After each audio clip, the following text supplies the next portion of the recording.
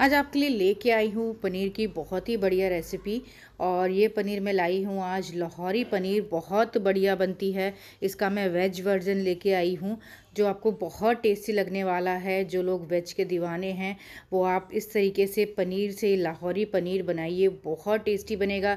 जैसा कि रंगत, कलर देख सकते हैं, ग्रेवी देख सकते हैं, कितनी बढ़िया है। इसमें कोई काजू का पेस्ट नहीं डलता है, बहुत ही बढ़िया लगता है ना, क्रीम डलती है और देखिए कितना बढ़िया इसका टेक्स्चर, कलर आता है। और खाने में ये बहुत बढ़िया है, ज़्यादा बनाने में इसको टाइम भी नहीं लगता है। तो चलिए फिर वीडियो को शुरू करते हैं। तो यहाँ पे देखिए मैंने साढ़े तीन सौ ग्राम पनीर लिया है।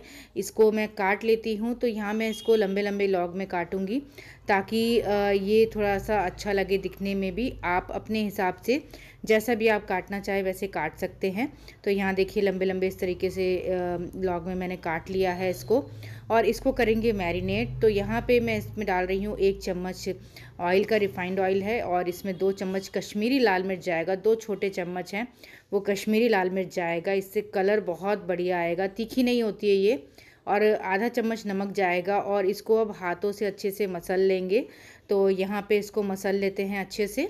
अब देखिए यहाँ पे अच्छे से मैरिनेट हो गया तो इसको हम छोड़ देते हैं साइड में और एक मसाला तैयार करते हैं। तो यहाँ पे अब मैं ले रही हूँ एक चम्मच कश्मीरी मिर्च, उसी के साथ यहाँ पे एक चौथाई चम्मच हल्दी पाउडर, एक चम्मच धनिया पाउडर, एक चम्मच भुना हुआ जीरा पाउडर और पानी डाल के इसका घोल तैयार करके रख देंगे। इसी तरीके से मसाले जो है ना, वो बनाइएगा पानी में घोल के तो बहुत बढ़िया बनेगा, ऐसे सूखे मत डालिएगा। तो इसको भी साइड में रखते हैं और बनाते हैं लाहौरी मसाला। डेढ़ चम्मच यहाँ पे जीरा है, दो बड़ी इलायची है।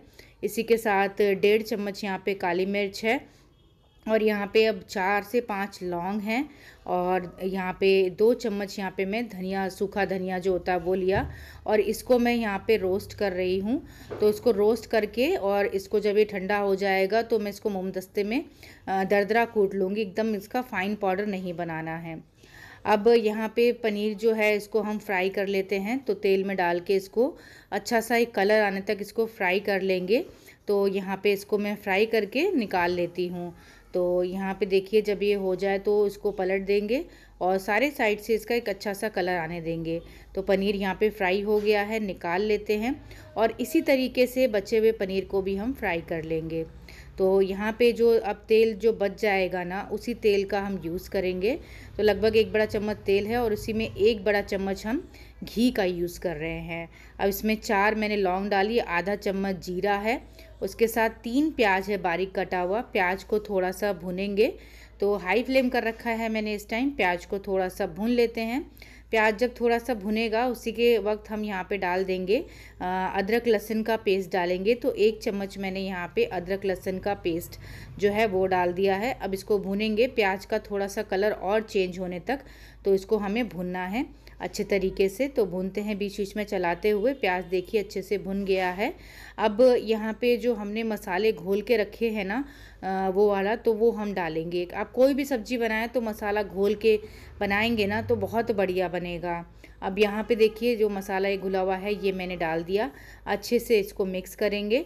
फ्लेम को मैंने अभी लो पे रखा हुआ है क्योंकि मसाले हैं ये सिर्फ़ तो जल सकते हैं। अब यहाँ पे इसी के साथ अब मैं डाल दूँगी तीन चम्मच यहाँ पे दही। अच्छी सी फेटी हुई दही होनी चाहिए, वो डाल देंगे इसके अंदर और फिर इसको अब अब मिक्स करेंगे। तो फ्लेम को लो ही रखेंगे ताकि दही फटे नहीं। अगर हाई फ्लेम पे आप दही डाल देंगे तो दही फट जाएगी, पानी अलग हो जाएगा और ये दही का जो पोर्शन है, वो अलग हो जाएगा। तो हो सके अगर बहुत गर्म है तो गैस को आप ऑफ़ कर दीजिए। अब इसको ढक के पकने देंगे। धीमी आँच पे पाँच से छः मिनट पकने दिया मैंने, देखिए।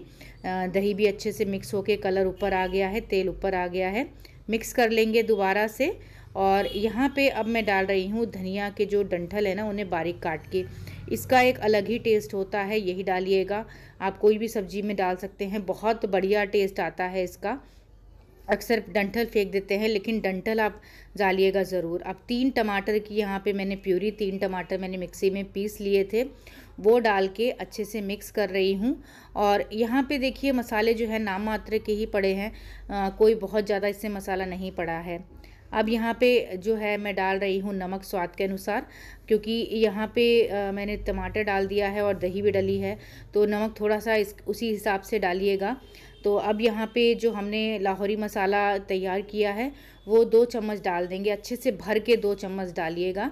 तभी फ्लेवर बहुत अच्छा आएगा और ये मसाला हम दरदरा रखते हैं, एकदम फाइन नहीं रखते हैं।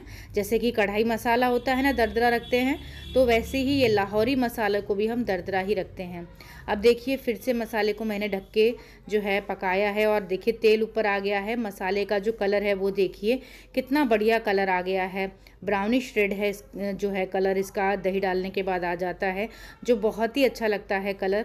और देखिए, मैंने मसाले को पकाया अच्छे तरीके से। पानी जो है, सारा सूख गया है, देख सकते हैं। अब यहाँ पे डाल देंगे हम कसूरी मेथी का पाउडर। तो कसूरी मेथी को भून ले थोड़ा सा बहुत ज़्यादा नहीं भूनते थोड़ा सा भूनने पे ही वो भून जाती है और उसके बाद उसको डाल देंगे हम और फिर मिक्स करेंगे। अब ये जो है, ग्रेवी तो तैयार ही है। अब यहाँ पे डालने वाले हैं हम पानी। तो पानी यहाँ पे ठंडा या नॉर्मल पानी नहीं डालना है, यहाँ पे हमें गर्म पानी डालना है। तो आधा कप के करीब मैंने गर्म पानी डाला है। ये ग्रेवी थोड़ी सी जो है ना, थिक होती है। एकदम पतली ग्रेवी नहीं यूज़ करते हैं इसमें। तो यहाँ पे देखिए, थोड़ी देर मैंने इसको मिक्स किया और फिर उसके बाद ये थोड़ा सा पक गया। अब पनीर डाल देते हैं इसके अंदर, सारा पनीर हमें डाल देना है।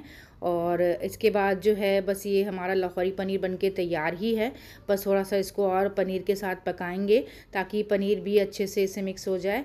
और यहाँ पे देखिए, अब इसको मैंने मिक्स किया है। और फिर एक बार इसको पाँच से सात मिनट के लिए लो फ्लेम पे ढक के पका लेंगे। तो लो फ्लेम पे मैंने इसको ढक के पकाया और अब देखिए पनीर का रंगत, कलर, ग्रेवी देखिए कितनी बढ़िया इसमें ग्रेवी जो है वो आई है। बहुत बढ़िया गर्मा गर्म सर्व करिए रोटी नान चावल के साथ, बहुत टेस्टी लगती है। एकदम अलग तरीके की ये पनीर की सब्ज़ी है। ट्राई करिए, बताइए मुझे कमेंट में कैसा लगा। त्यौहार के सीज़न तो शुरू ही हो चुके हैं, बहुत सारे त्यौहार आ रहे हैं। तो बनाइए और जो पनीर को बहुत पसंद करते हैं, खाना या वेज जो लवर है, उनके लिए तो ये बहुत ही ज़्यादा अच्छा और टेस्टी है। तो बनाइए और आपको भी बहुत अच्छा लगेगा। अगर आप बनाते हैं इस तरीके से लाहौरी पनीर तो भी मुझे बताइएगा या कुछ और चीज़ इसमें ऐड करते हैं ताकि ये और ज़्यादा टेस्टी हो जाए तो वो भी मुझे लिख के ज़रूर बताइएगा कमेंट बॉक्स में। तो यहाँ पे देखिए, लाहौरी पनीर बनके तैयार है। लग रही है ना एकदम टेम्पटिंग यमी बहुत ही टेस्टी तो यहाँ पे अब ये बनके तैयार है। मुझे कमेंट बॉक्स पे ज़रूर बताइएगा कि आपको ये रेसिपी कैसी लगी। तो चलिए फिर मिलती हूँ नेक्स्ट वीडियो में। तब तक के लिए टिल देन बाय